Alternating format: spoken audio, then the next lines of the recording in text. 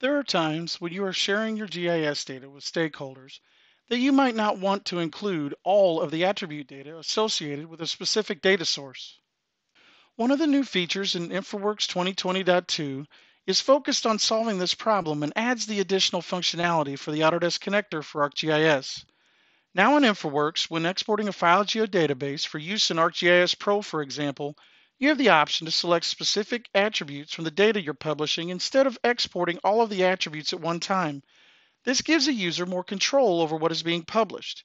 In this example, I could have sensitive information that I need to have access to internally for this sanitary sewer system, but maybe don't want to distribute all of the information to export to everyone.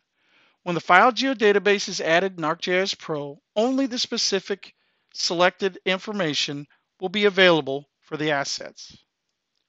Not only is this functionality available when exporting a file geodatabase, the same functionality is available when publishing information to ArcGIS Online.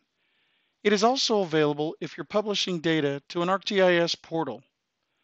This new feature ultimately gives the user the ability they need to deliver only the attributes they want to share when distributing any of their GIS data.